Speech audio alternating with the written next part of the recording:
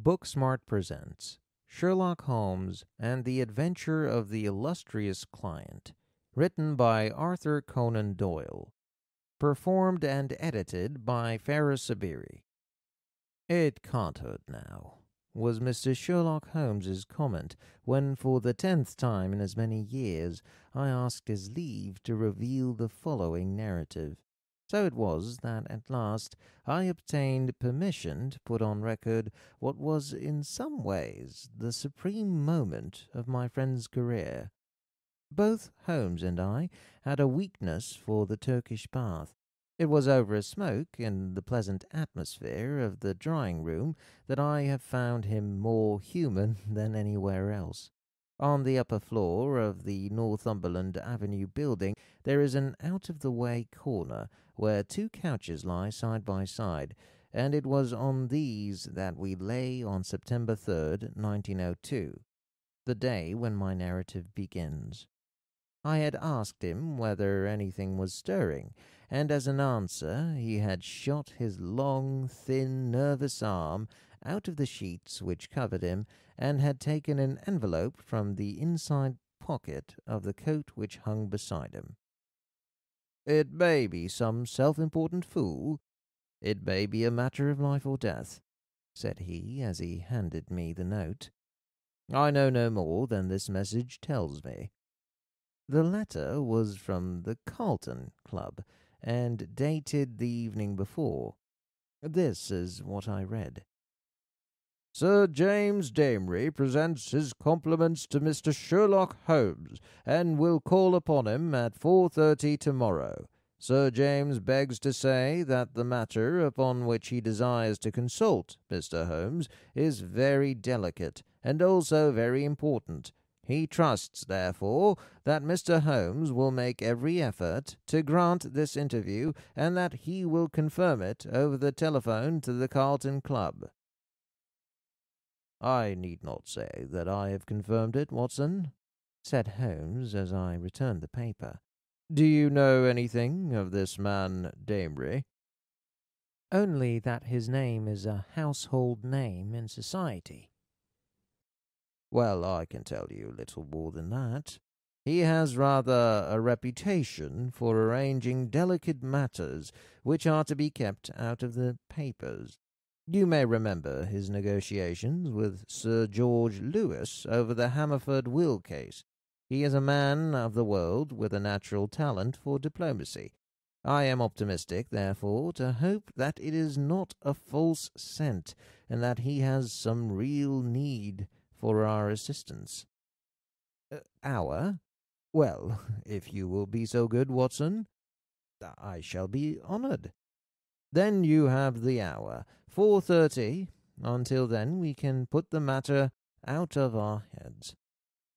I was living in my own rooms in Queen Anne Street at the time, but I was round at Baker Street before the time named. At four thirty sharp, Colonel Sir James Damery was announced. It is hardly necessary to describe him, for many will remember that large, honest personality that broad, clean shaven face, above all, that pleasant baritone voice. Frankness shone from his grey eyes, and good humour played round his smiling lips.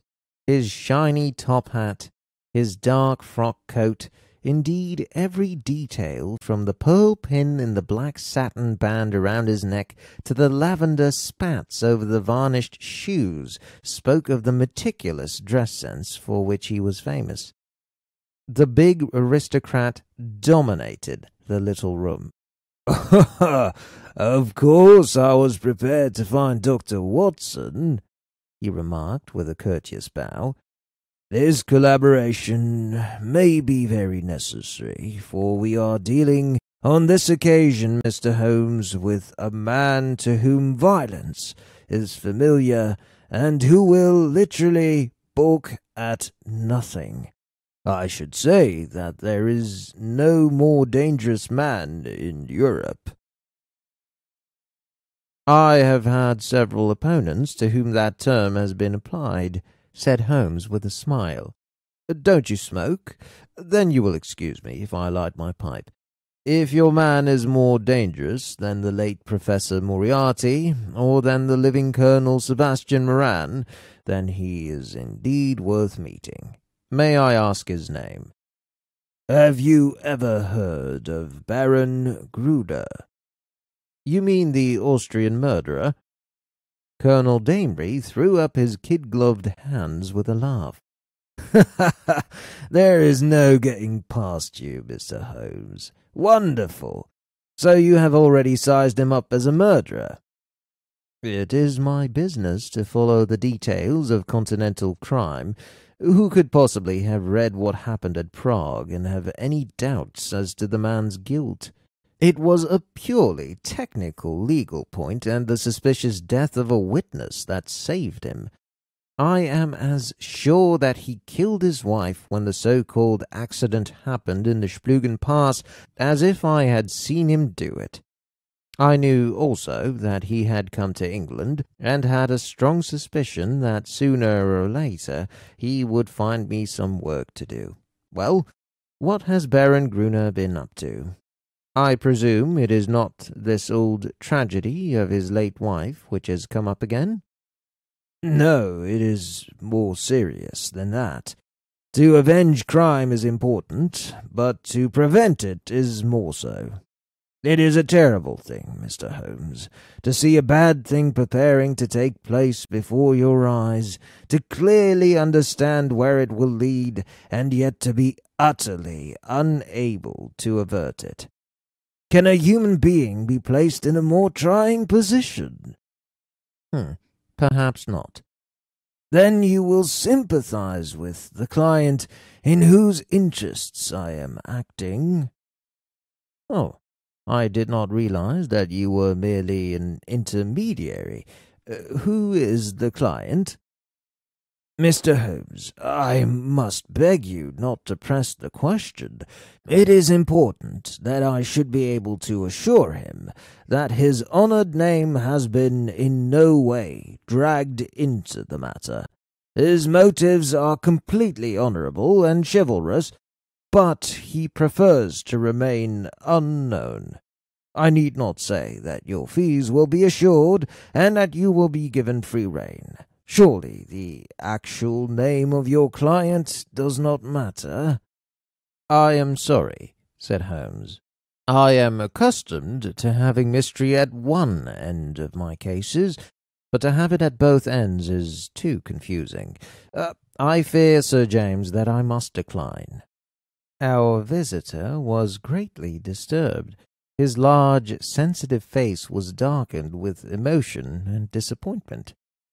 You hardly realize the effect of your own action, Mr. Holmes, said he. You place me in a most serious dilemma, for I am certain that you would be proud to take over the case if I could give you the facts, and yet a promise forbids me from revealing them all. May I, at least, lay all that I can before you? Uh, by all means, so long as it is understood that I commit myself to nothing. That is understood. In the first place, you have no doubt heard of General de Merville? De Merville, of Khyber fame? Yes, I have heard of him. He has a daughter, Violet de Merville, young, rich, beautiful, accomplished, a wonder woman in every way. It is this daughter, this lovely, innocent girl, whom we are endeavoring to save from the clutches of a fiend. Baron Gruner has some hold over her, then? The strongest of all holds where a woman is concerned, the hold of love. The fellow is, as you may have heard, extraordinarily handsome, with a most fascinating manner, a gentle voice, and that air of romance and mystery which means so much to a woman. He is said to have the whole sex at his mercy, and to have made ample use of the fact. But how came such a man to meet a lady of the standing of Miss Violet de Merville? It was on a Mediterranean boat trip. The company, though select, paid their own passages. No doubt the promoters hardly realized the Baron's true character until it was too late. The villain attached himself to the lady, and with such effect that he has completely and absolutely won her heart. To say that she loves him hardly expresses it. She dotes upon him. She is obsessed by him. Outside of him, there is nothing on earth that interests her. She will not hear one word against him. Everything has been done to cure her of her madness, but nothing has helped. To sum up, she proposes to marry him next month. As she is of age and has a will of iron, it is hard to know how to prevent her. Does she know about the Austrian episode? The clever devil has told her about every public scandal of his past life, but always in such a way as to make himself look like an innocent martyr. She absolutely accepts his version, and will listen to no other. Dear me! But surely you have inadvertently let out the name of your client? It is no doubt General de Merville. Our visitor sat restless in his chair. I could say yes, Mr. Holmes, but it would not be true. De Merville is a broken man. The strong soldier has been utterly demoralized by this incident.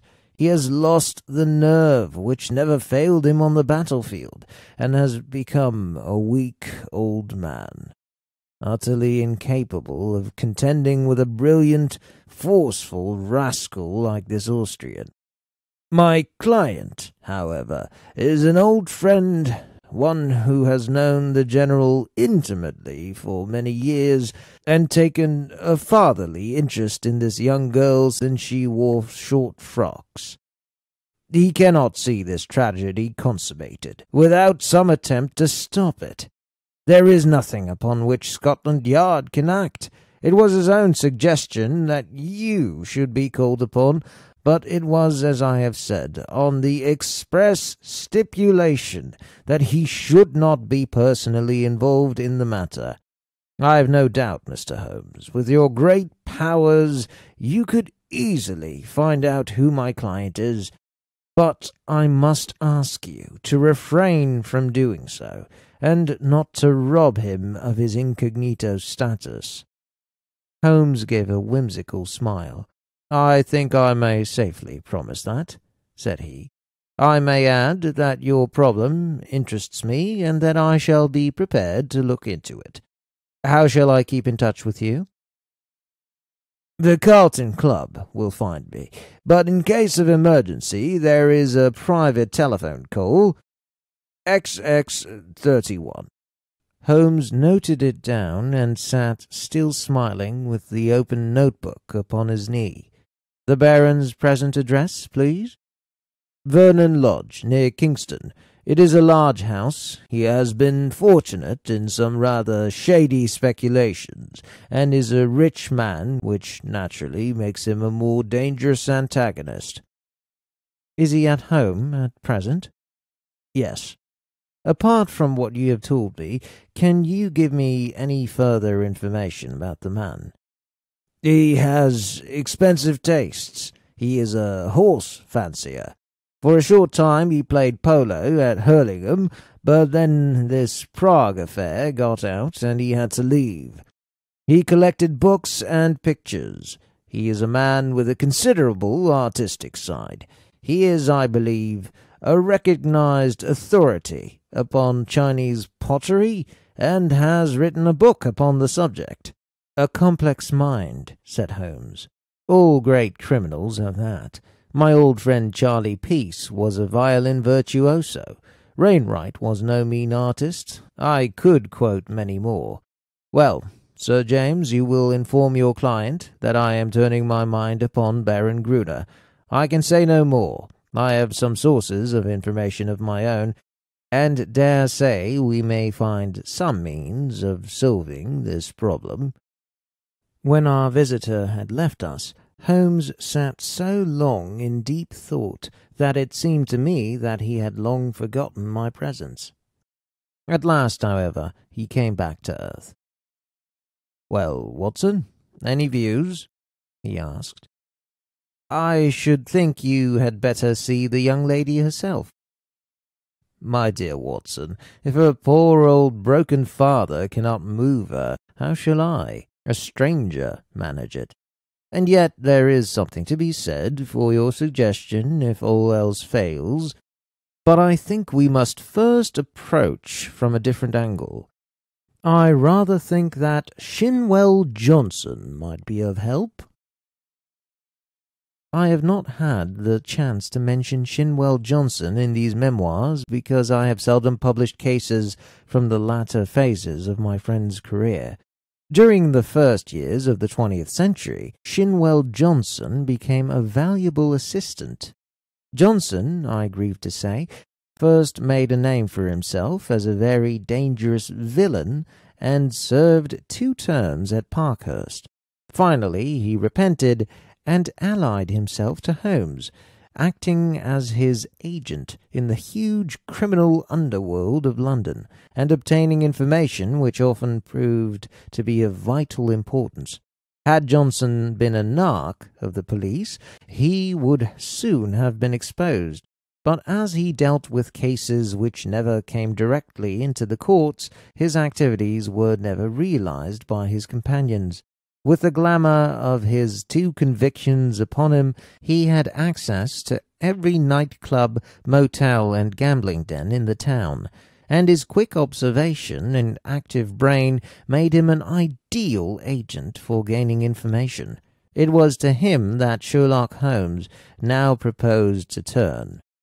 It was not possible for me to follow the immediate steps taken by my friend, for I had some pressing professional business of my own, but I met him by appointment that evening at Simpson's, where, sitting at a small table in the front window and looking down at the rushing stream of life outside, he told me something of the events that had transpired since our last meeting. Johnson is on the prowl, said he. He may pick up some garbage in the darker recesses of the underworld, for it is down there, amid the black roots of crime, that we must hunt for this man's secrets. But if the lady will not accept what is already known, why should any fresh discovery of yours turn her from her purpose? Who knows, Watson? A woman's heart and mind are insoluble puzzles to the male. Murder might be condoned or explained away, and yet some smaller offence might be beyond forgiveness to our female counterparts. Why, Baron Gruner remarked to me. He remarked to you? Oh, to be sure. I had not told you of my plans. Well, Watson, I love to come to close grips with my man. I like to meet him eye to eye and get a read on them. When I had given Johnson his instructions, I took a cab out to Kingston and found the Baron in the best of moods. Uh, did he recognize you? He did not need to, for I simply sent in my card. He is an excellent antagonist, cool as ice, silky voiced as a gentleman, and poisonous as a cobra. He has breeding in him, a real aristocrat of crime, with a civilized suggestion of afternoon tea and all the cruelty of the grave behind it. Yes, I am glad to have had my attention called to Baron Adalbert Gruner. You say he was friendly? A purring cat who thinks he sees a huntable mouse. Some people's gentle manner is more deadly than the violence of coarser souls. His greeting was characteristic. I rather thought I should see you sooner or later, Mr. Holmes, said he. You have been engaged, no doubt, by General de Merville to endeavor to stop my marriage with his daughter, Violet. That is so, is it not? I acquiesced. My dear man, said he, you will only ruin your own well deserved reputation. It is not a case in which you can possibly succeed. You will have barren work, to say nothing of incurring some danger. let me very strongly advise you to discontinue this line of investigation at once. It is curious, I answered, but that was the very advice which I had intended to give you. I have a respect for your brains, Baron, and the little which I have seen of your personality has not lessened it. Let me put it to you as man to man. No one wants to rake up your past and make you unduly uncomfortable. It is over, and you are now in smooth waters. But if you persist in this marriage, you will go up against a swarm of powerful enemies who will never leave you alone until they have made England too inhospitable to hold you. Is the game worth it? Surely it would be wiser if you left the lady alone. It would not be pleasant for you if these facts of your past were brought to her attention. Now the Baron has little waxed tips of hair under his nose, Watson, like the short antennae of an insect. These quivered with amusement as he listened, and he finally broke into a gentle chuckle. Excuse my amusement, Mr. Holmes, said he, but it is really funny to see you trying to play a hand with no cards in it. I don't think anyone could do it better, but it is rather pathetic all the same. Not a color card there, Mr. Holmes, nothing but the smallest of the small. So you think? So I know. Let me make the thing clear to you. For my own hand is so strong that there is no need to hide it. I have been fortunate enough to win the entire affection of this lady.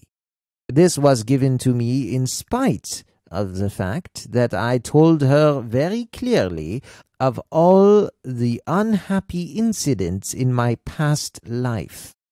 I also told her that certain wicked and designing persons, I hope you recognize yourself, would come to her and tell her these things, and I told her how to treat them.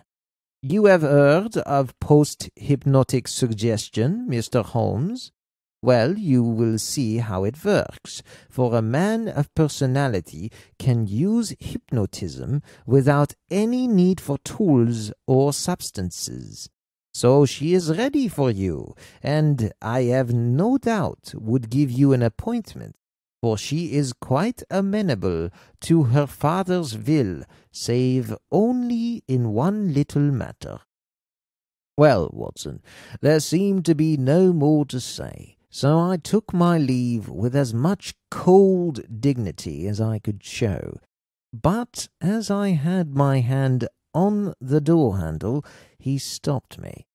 By the way, Mr. Holmes, said he, did you know Lebrun, the French agent? Yes, said I. Do you know what happened to him? I heard that he was beaten by some Apaches in the Montmartre district and crippled for life. Quite true, Mr. Holmes. By a curious coincidence, he had been inquiring into my affairs only a week before. Don't do it, Mr. Holmes. It's not a lucky thing to do. Several have found that out. My last word to you is go your own way, and let me go mine. Goodbye. So there you are, Watson. You are up to date now. The fellow seems dangerous. Mighty dangerous. I disregard the blusterer, but this is the sort of man who says rather less than he means. Oh, must you interfere? Does it really matter if he marries the girl? Considering that he undoubtedly murdered his last wife, I should say it matters very much. Besides, the client well, well, we need not discuss that. When you have finished your coffee, you had best come home with me, for the blithe Shinwell will be there with his report. We found him, sure enough, a huge, coarse, red faced, scorbutic man, with a pair of lively black eyes which were the only sign of the very cunning mind within. It seems that he had dived down into what was peculiarly his kingdom, and beside him on the settee was a slim, flame like young woman with a pale, intense face, youthful, and yet so worn with sin and sorrow that one read the terrible years which had left their mark upon her. This is Miss Kitty Winter, said Shinwell Johnson, waving his fat hand as an introduction. Well, she don't know. Well, there, she'll speak for herself. Put my hand right on her, Mr. Holmes, within an hour of your message. I'm easy to find, said the young woman. Hell, London gets me every time. Same address for Porky Shinwell. We're all mates, Porky, you and I. But by gripes. There is another who ought to be down in a lower hell than we if there was any justice in the world. That is the man you are after, Mr. Holmes. Holmes smiled. I gather we have your blessing, Miss Winter. If I can help to put him where he belongs, I'm yours to the rattle, said our visitor with intensity. There was an intensity of hatred in her white set face and her blazing eyes such as women seldom and men never can attain. You needn't go into my past, Mr. Holmes. That's neither here nor there. But what I am, Adalbert Gruner made me. If I could pull him down. She grabbed frantically at the air. Oh, if I could only pull him down into the pit where he has pushed so many. You have been informed. Porky Shinwell has been telling me. He's after some other poor fool and wants to marry her this time. You want to stop it. Well, you surely know enough about this devil to prevent any decent girl in her senses from wanting to be in the same parish as him. She is not in her right mind. She is madly in love. She has been told all about him. She cares not told about the murder? Yes. My lord, she must have a nerve. She puts them all down as slanders. Couldn't you lay proof before her silly eyes? Well, can you help us do so? Ain't I a proof myself? If I stood before her and told her how he used me. Would you do this? Would I? Would I not? Well, it might be worth trying. But he has told her most of his sins and was pardoned by her, and I understand she will not change her mind. I bet he didn't tell her all, said Miss Winter. I caught a glimpse of one or two murders besides the one that made such a fuss. He would speak of someone in his velvet way, and then look at me with a steady eye and say, He died within a month. It wasn't hot air either, but I took little notice. You see, I, I loved him myself at that time. Whatever he did was forgiven, same as with this poor fool. There was just one thing that shook me. Yes, by cripes, if it had not been for his poisonous lying tongue that explains and soothes, I'd have left him that very night. It's a book he has, a brown leather book, with a golden lock. I think he was a bit drunk that night, or he would not have shown it to me. What was it then? I tell you, Mr. Holmes, this man collects women and takes pride in his collection as some men collect moths or butterflies. He had it all in that book snapshot photographs, names, details, everything about them. It was a beastly book, a book no man, even if he had come from the gutter, could have put together. But it was Adalbert Gruner's book all the same. Souls I have ruined. He could have put that on the outside as a title if he had wished it. However, that's neither here nor there. For even if the book might help you convince the girl, you can't get to it. Where is it? How can I tell you where it is now? It's been more than a year since I left him. I know where he kept it then. He's a precise, tidy cat of a man in many of his ways, so maybe it is still in the pigeonhole of the old bureau in the inner study. Do you know his house? I've been in the study, said Holmes. Have you really? You haven't been slow on the job if you only started this morning. Maybe dear Adelbert has met his match this time. The outer study is the one with the Chinese crockery in it, big glass cupboard between the windows. Then behind his desk is the door that leads to the inner study, a small room where he keeps papers and things. Is he not afraid of burglars? Adelbert is no coward. His worst enemy couldn't say that of him. He can look after himself. There's a burglar alarm at night. Besides, what is there for a burglar unless they got away with all this fancy crockery? No good, said Shinwell Johnson, with the decided voice of the expert. No fence wants stuff of that sort that you can neither melt nor sell. Quite so, said Holmes. Well now, Miss Winter, if you would call here tomorrow evening at five, I would consider in the meanwhile whether your suggestion of seeing this lady personally may not be arranged. I am exceedingly thankful for your cooperation. I need not say that my clients will consider liberally. None of that, Mr. Holmes, cried the young woman. I am not out for money. Let me see this man in the mud, and I've got all I worked for in the mud with my foot on his cursed face. That's my price. I'm with you tomorrow or any other day, so long as you are on his track. Porky here can tell you always where to find me. I did not see Holmes again until the following evening, when we dined once more at our Strand restaurant. He shrugged his shoulders when I asked him what luck he had had in his interview. Then he told me the story, which I would repeat in this way. His hard, dry statements need some little editing to soften it into the terms found on paper. There was no difficulty at all about the appointment, Watson, for the girl glories in showing filial obedience in all secondary things in an attempt to atone for her engagement with a devil. The general found that all was ready, and the fiery Miss W turned up according to schedule, so that at half past five a cab dropped us off outside 104 Berkeley Square, where the old soldier lives, one of those awful grey London castles which would make a church seem frivolous.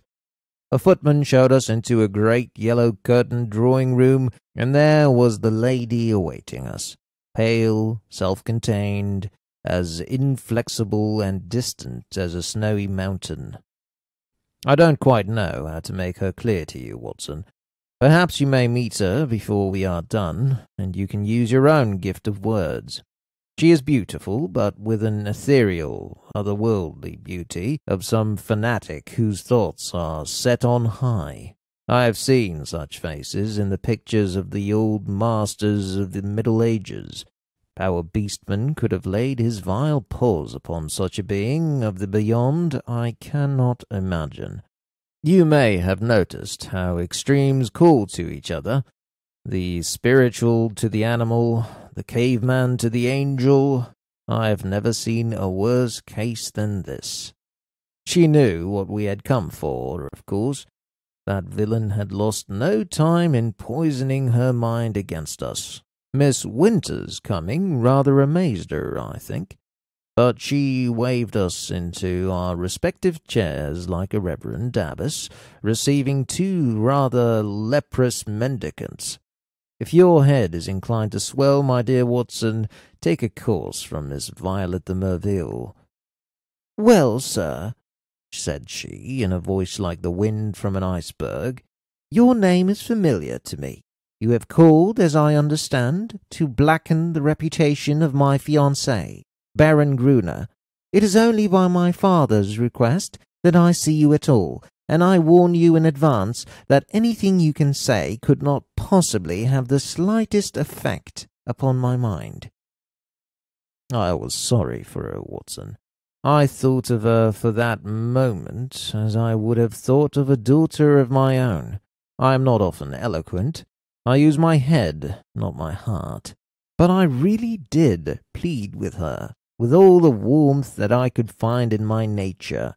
I pictured to her the awful position of the woman who only wakes to a man's character after she is his wife a woman who has to submit to be touched by bloody hands and lecherous lips. I spared her nothing. The shame, the fear, the agony, the hopelessness of it all. All my hot words could not bring one tinge of colour to those ivory cheeks, or one bit of emotion to those empty eyes. I thought of what the rascal had said about a post hypnotic influence. One could really believe that she was not awake, but in some ecstatic dream. Yet there was nothing dreamlike in her replies. I have listened to you with patience, Mr. Holmes, said she. The effect upon my mind is exactly as predicted, I am aware that Adelbert, my fiancé, has had a stormy life in which he has experienced bitter hatred and most unjust aspersions. You are only the last of a series who have brought their slanders before me. Possibly you mean well, though I learn that you are a paid agent who would have been equally willing to act for the Baron as against him. But in any case, I wish you to understand once for all that I love him and that he loves me, and that the opinion of all the world is no more to me than the twitter of those birds outside the window. If his goodness has ever for an instant weakened, it may be that I have been specially sent to strengthen it. I am not clear here she turned her eyes upon my companion, who this young lady may be. I was about to answer when the girl broke in like a whirlwind. If ever you saw Flame and Ice face to face, it was those two women. I'll tell you who I am, she cried, springing out of her chair, her mouth twisted with passion. I am his last mistress. I am one of a hundred that he has tempted and used and ruined and thrown into the refuse heap, as he will you also. Your refuse heap is more likely to be a grave, and maybe that's the best outcome. I tell you, you foolish woman, if you marry this man, he'll be the death of you. It may be a broken heart, or it may be a broken neck, but he'll have you dead one way or the other. It's not out of love for you that I'm speaking. I don't care a tinker's curse whether you live or die. It's out of hate for him, and to spite him, and to get back at him for what he did to me. But it's all the same, and you needn't look at me like that, my fine lady, for you may be lower than I am before he is done with you. I should prefer not to discuss such matters, said Miss de Merville coldly. Let me say once for all that I am aware of three passages in my fiancé's life in which he became entangled with designing women, and that I am assured of his heartfelt repentance for any evil that he may have done. Three passages! screamed my companion. You fool! You unutterable fool! Mr. Holmes, I beg that you will bring this interview to an end, said the icy voice. I have obeyed my father's wish in seeing you, but I am not compelled to listen to the ravings of this person. With an oath, Miss Winter darted forward, and if I had not caught her wrist, she would have grabbed this maddening woman by the hair. I dragged her towards the door, and was lucky to get her back in the cab without causing a public scene for she was beside herself with rage. In a cold way, I felt pretty furious myself, Watson, for there was something unspeakably annoying in the supreme self control of the woman whom we were trying to save. So, now once again you know exactly how we stand. And it is clear that I must plan some fresh move, for this gambit won't work. I'll keep in touch with you, Watson, for it is more than likely that you will have your part to play. Though it is just possible that the next move may lie with them rather than with us. And it did. Their blow fell, or his blow rather, for never could I believe that the lady was privy to it. I think I could show you the very paving stone upon which I stood when my eyes fell upon the placard, and a pang of horror passed through my very soul. It was between the Grand Hotel and Charing Cross Station, where a one-legged news vendor sold his evening papers. The date was just two days after the last conversation. There, black upon yellow, was the terrible news sheet murderous attack upon Sherlock Holmes. I think I stood stunned for some moments.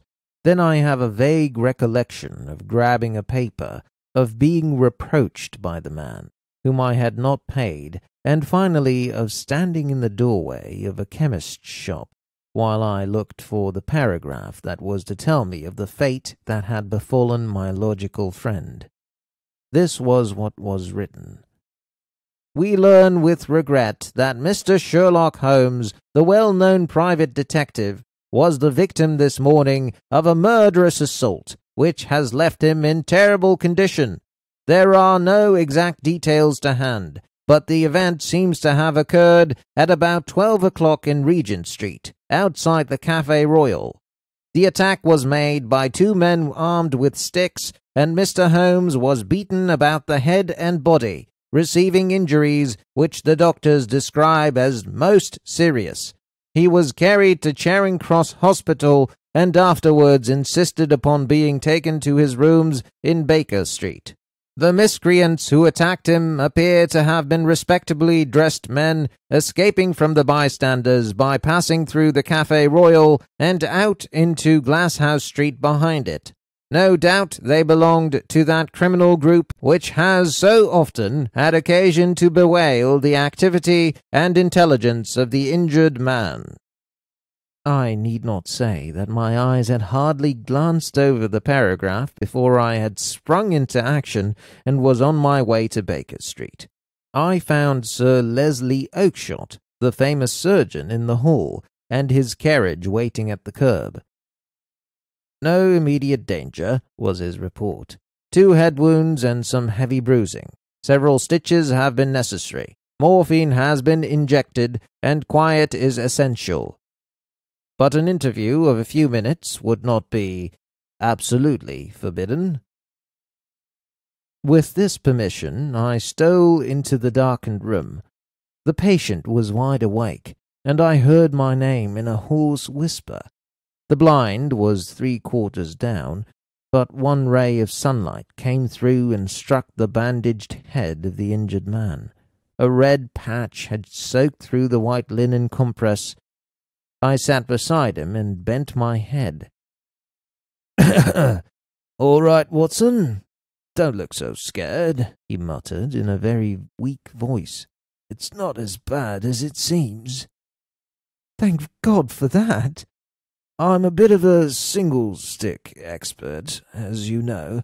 It was the second man that was too much for me. What can I do, Holmes? Of course it was that damned fellow who set them on you. I'll go and thrash the hide off them if you give the word. Good old Watson. No, we can do nothing there, unless the police lay their hands on the men. Their getaway had been well prepared. We may be sure of that. Wait a little. I have my plans. The first thing is to Exaggerate my injuries. They'll come to you for news. Put it on thick, Watson. Lucky if I live out the week. Concussion, delirium, what you like. You can't overdo it. But Sir Leslie Oakshott? Oh, he's all right. He shall see the worst side of me. I'll look after that. Anything else? Yes, tell Shinwell Johnson to get that girl out of the way. Those beauties will be after her now. They know, of course, that she was with me in the case. If they dared to do me in, it is not likely they will neglect her. That is urgent. Do it tonight. I'll go now. Uh, anything more? Put my pipe on the table and the tobacco slipper. Right. Uh, come in each morning, and we will plan our campaign. I arranged with Johnson that evening to take Miss Winter to a quiet suburb and see that she lay low until the danger was past. For six days, the public were under the impression that Holmes was at death's door. The bulletins were very grave, and there were sinister paragraphs in the paper. My continual visits assured me that it was not so bad as that. His wiry constitution and his determined will were working wonders. He was recovering fast, and I had suspicions at times that he was able to move about more than he pretended, even to me. There was a curious secretive streak in the man, which led to many dramatic effects, but left even his closest friends guessing as to what his exact plans might be. He pushed to an extreme the axiom that the only safe plotter was he who plotted alone. I was nearer him than anyone else, and yet I was always conscious of the gap between. On the seventh day, the stitches were taken out, while the evening papers reported an infection. The same evening papers had an announcement which I was bound, sick or well, to carry to my friend. It was simply that among the passengers on the Cunard boat Ruritania, starting from Liverpool on Friday, was the Baron Adelbert Gruner, who had some important financial business to settle in the States before his impending wedding to Miss Violet de Merville, only daughter of etc. etc. Holmes listened to the news with a cold, concentrated look upon his pale face, which told me that it hit him hard. Friday, he cried. Only three clear days. I believe the rascal wants to put himself out of danger's way. But he won't, Watson. By the Lord Harry, he won't. Now, Watson, I want you to do something for me. I am here to be used, Holmes. Well then, spend the next twenty four hours in an intensive study of Chinese pottery. He gave no explanations, and I asked for none. By long experience, I had learned the wisdom of doing what I am told. But when I left his room, I walked down Baker Street, revolving in my head how on earth I was to carry out so strange an order. Finally, I drove to the London Library in St. James Square, put the matter to my friend Lomax, the librarian, and departed to my rooms with a heavy volume under my arm. It is said that the barrister, who prepares a case with such care that he can examine an expert witness upon the Monday, has forgotten all his forced knowledge before the Saturday. Certainly, I should not like now to pose as an authority upon ceramics.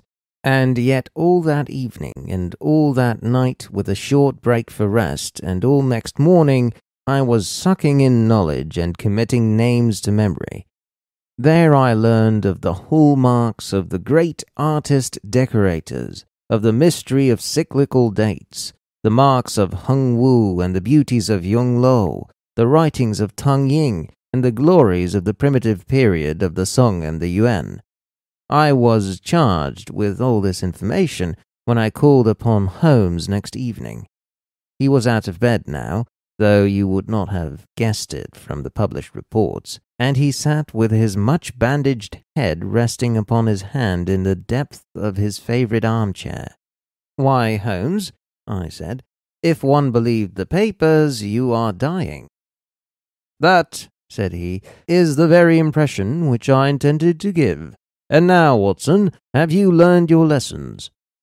At least I have tried to. Good. You could keep up an intelligent conversation on the subject. I believe I could. Then hand me that little box on the table. He opened the lid and took out a small object, most carefully wrapped in some fine Eastern silk. This he unfolded and took out a delicate little saucer of the most beautiful deep blue color. It needs careful handling, Watson. This is the real eggshell pottery of the Ming Dynasty. No finer piece ever passed through Christie's. A complete set of this would be worth a king's ransom. In fact, it is doubtful if there is a complete set outside the imperial palace of Peking. The sight of this would drive a real connoisseur wild. What am I to do with it? Holmes handed me a card upon which was printed Dr. Hill Barton, 369 Half Moon Street. That is your name for the evening, Watson. You will call upon Baron Gruner. I know something of his habits, and at half past eight he would probably be disengaged. A note will tell him in advance that you are about to call, and you will say that you are bringing him a piece of an absolutely unique set of Ming china. You may as well be a medical man, since that is a part which you can play without duplicity. You are a collector, this set has come your way, you have heard of the Baron's interest in the subject, and you are not averse to selling at a price. Uh, what price? Well asked, Watson. Uh, you would certainly fall down badly if you did not know the value of your own wares. This saucer was got for me by Sir James, and comes, I understand, from the collection of his client.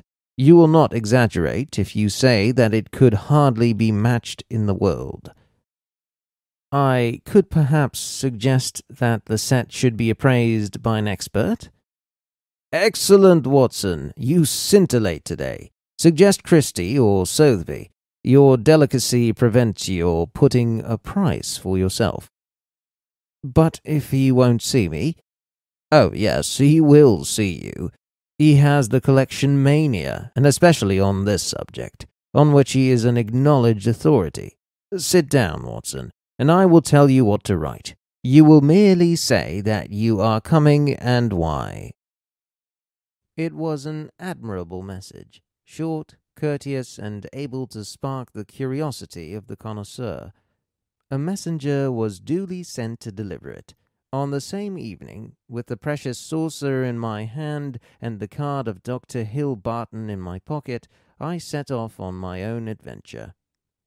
The beautiful house and grounds indicated that Baron Gruner was, as Sir James had said, a man of considerable wealth. A long winding drive, with banks of rare shrubs on either side, led to a great square adorned with statues.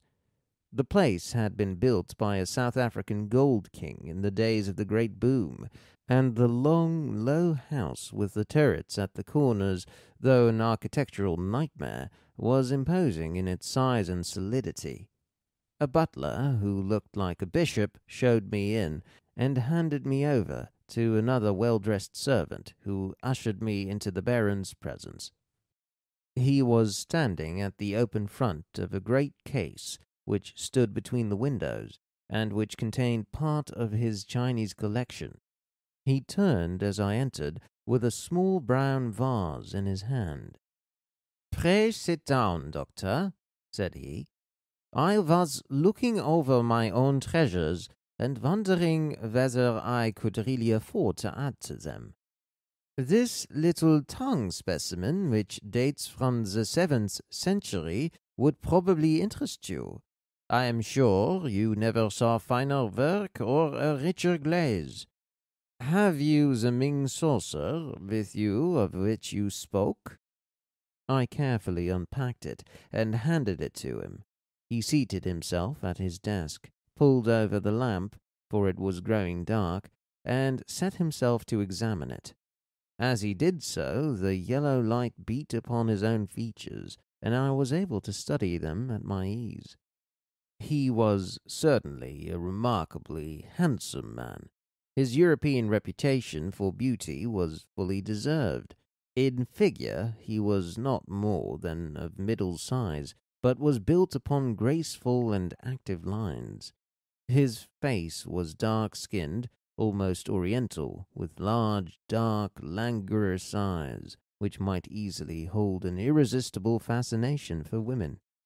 His hair and moustache were raven black, the latter short, pointed, and carefully waxed. His features were regular and pleasing, save only his straight, thin lipped mouth. If ever I saw a murderer's mouth, it was there, a cruel, hard line in the face, compressed, inexorable, and terrible. He was ill advised to style his moustache away from it, for it was nature's danger signal, set as a warning to his victims. His voice was engaging, and his manners perfect.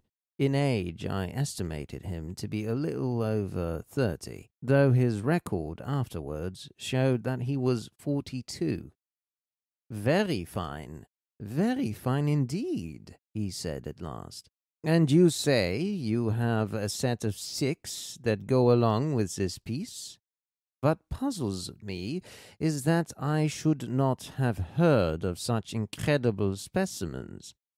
I only know of one in England to match this, and it is certainly not likely to be on the market. Would it be too forward if I were to ask you, Dr. Hill Barton, how you obtained this? Uh, does it really matter? I asked, with as careless an attitude as I could muster. You can see that the piece is genuine, and as to the value, I am content to take an expert's valuation. Very mysterious, said he, with a quick, suspicious flash of his dark eyes. In dealing with objects of such value, one naturally wishes to know all about the transaction. That the piece is genuine is certain. I have no doubts at all about that. But suppose I am bound to take every possibility into account, that it should become known afterwards that you had no right to sell. I would guarantee you against any such claim. That, of course, would cause me to wonder what your guarantee is worth. My bankers would answer that. Quite so, and yet the whole trade strikes me as rather unusual. You can do business or not, said I, with indifference. I have given you the first offer, as I understand that you were a connoisseur, but I shall have no difficulty in looking for a buyer elsewhere. Who told you I was a connoisseur? I was aware that you had written a book upon the subject. Have you read the book? No. Dear me, this becomes more and more difficult for me to understand, you are a connoisseur and collector with a very valuable piece in your collection, and yet you have never troubled to consult the one book which would have told you of the real meaning and value of what you held. How do you explain that?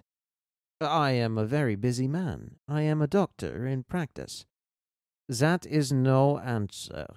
If a man has a hobby, he follows it up, whatever his other pursuits may be. You said in your note that you were a connoisseur. Uh, so I am. Might I ask you a few questions to test you? I am obliged to tell you, doctor, if you are indeed a doctor, that this matter is becoming more and more suspicious. I would ask you, what do you know of the Emperor Shomu, and how do you associate him with the Shosoin near Nara? Dear me, does that puzzle you? Tell me a little about the Northern Wei dynasty and its place in the history of ceramics. I sprang from my chair in faked anger. This is intolerable, sir, said I. I came here to do you a favor, and not to be examined as if I were a schoolboy. My knowledge on these subjects may be second only to your own, but I certainly shall not answer questions which have been put in so offensive a way. He looked at me steadily. The languor had gone from his eyes. They suddenly grew sharp. There was a gleam of teeth from between those cruel lips. What is the game? You are here as a spy. You are an agent of Holmes. This is a trick that you are playing upon me. The fellow is dying, I hear, so he sends his tools to keep watch upon me. You've made your way in here without leave, and by God, you may find it harder to get out than to get in. He had sprung to his feet, and I stepped back, bracing myself for an attack, for the man seemed now beside himself with rage.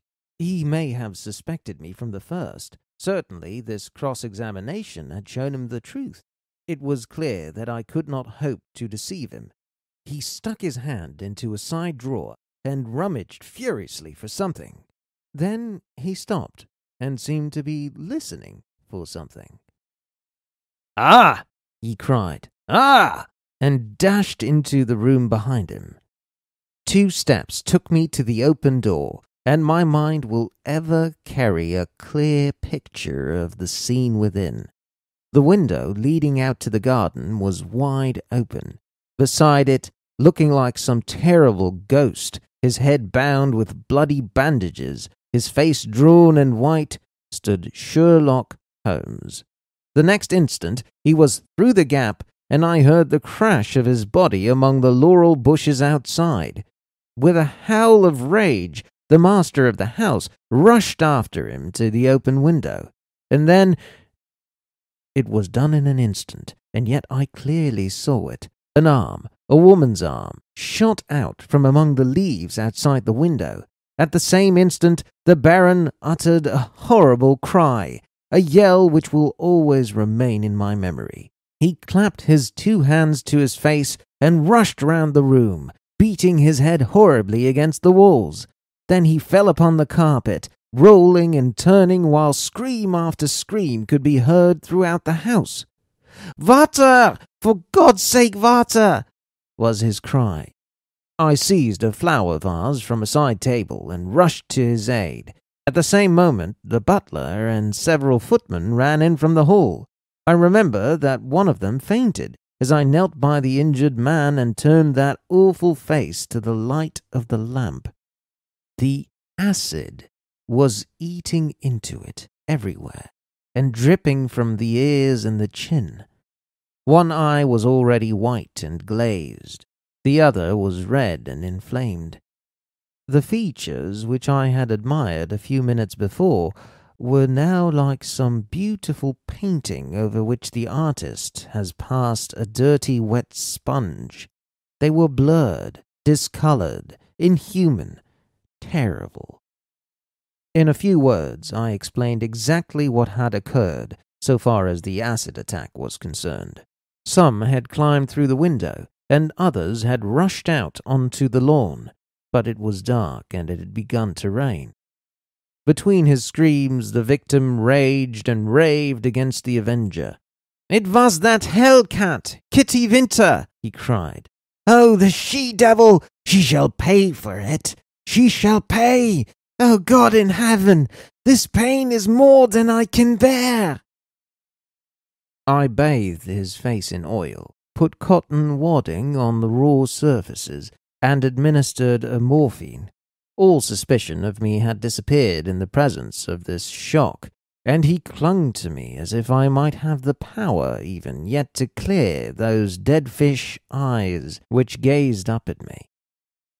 I could have wept over the ruin had I not remembered very clearly the vile life which had led up to this hideous change. It was loathsome to feel the pawing of his burning hands, and I was relieved when his family surgeon, closely followed by a specialist, came to relieve me of my charge. A police inspector had also arrived, and to him I handed my real card. It would have been useless as well as foolish to do otherwise, for I was nearly as well known at the yard as Holmes himself. Then I left that house of terror. Within an hour I was at Baker Street. Holmes was seated in his familiar chair, looking very pale and exhausted. Apart from his injuries, even his iron nerves had been shocked by the events of the evening, and he listened with horror to my account of the Baron's transformation. The wages of sin, Watson, the wages of sin, said he. Sooner or later, it will always come. God knows there was sin enough, he added, taking up a brown volume from the table. Here is the book the woman talked of. If this will not break off the marriage, nothing ever could. But it will, Watson. It must. No self respecting woman could stand it. It is his love diary, or his lust diary. Call it what you will. The moment the woman told us of it, I realized what a tremendous weapon was there, if we could only lay our hands on it. I said nothing at the time to indicate my thoughts, for this woman might have given it away. But I brooded over it. Then this assault upon me gave me the chance of letting the Baron think that no precautions needed to be taken against me. That was all to the good. I would have waited a little longer but his visit to America forced my hand. He would never have left so compromising a document behind him. Therefore, we had to act at once. Burglary at night is impossible. He takes precautions. But there was a chance in the evening if I could only be sure that his attention was engaged elsewhere. That was where you and your blue saucer came in. But I had to be sure of the position of the book, and I knew I had only a few minutes to act, for my time was limited by your knowledge of Chinese pottery. Therefore, I gathered the girl up at the last moment. Ah, how could I guess what the little packet was that she carried so carefully under her cloak? I thought she had come only on my business, but it seems she had some of her own. He guessed I came from you. I feared he would, but you distracted him just long enough for me to get the book, though not long enough for an unobserved escape. Ah, Sir James, I am very glad you have come. Our courtly friend had appeared in answer to a previous summons. He listened with the deepest attention to Holmes's account of what had occurred. You have done wonders, wonders, he cried when he had heard the narrative. But if these injuries are as terrible as Dr. Watson describes, then surely our goal of thwarting the marriage has been met without the use of this horrible book. Holmes shook his head. Women such as De Merville do not act like that. She would love him even more as a disfigured martyr. No, no, it is his moral side, not his physical, which we have to destroy. That book will bring her back to earth, and I know nothing else that could. It is in his own writing. Not even she can look past it. Sir James carried away both it and the precious saucer. As I was myself overdue, I went down with him into the street. A carriage was waiting for him. He sprang in, gave a hurried order to the coachman, and drove swiftly away. He flung his overcoat half out of the window to cover the family crest that shone from the panel, but I had seen it none the less. I gasped with surprise. Then I turned back and ascended the stair to Holmes's room. I have found out who our client is, I cried, bursting with my great news. Why, Holmes, it is. It is a loyal friend and a chivalrous gentleman, said Holmes, holding up a restraining hand. Let that now and forever be enough for us. I do not know how the incriminating book was used. Sir James may have brought it to Mr. Merville himself, or it is more probable that so delicate a task was entrusted to the young lady's father. The effect, at any rate, was all that could be desired. Three days later appeared a paragraph in the Morning Post to say that the marriage between Baron Adelbert Gruner and Miss Violet de Merville would not take place. The same paper had the first police court hearing of the proceedings against Miss Kitty Winter on the grave charge of acid throwing. Such extenuating circumstances came out in the trial that the sentence, as will be remembered, was the lowest that was possible for such an offence. Sherlock Holmes was threatened with a prosecution for burglary, but when a client is sufficiently illustrious, even the rigid British law becomes human and elastic. My friend has not yet stood in the dock.